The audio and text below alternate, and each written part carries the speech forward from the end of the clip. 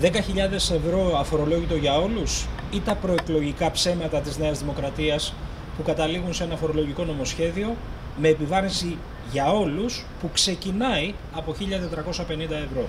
Η χώρα χρειάζεται προοδευτική λύση.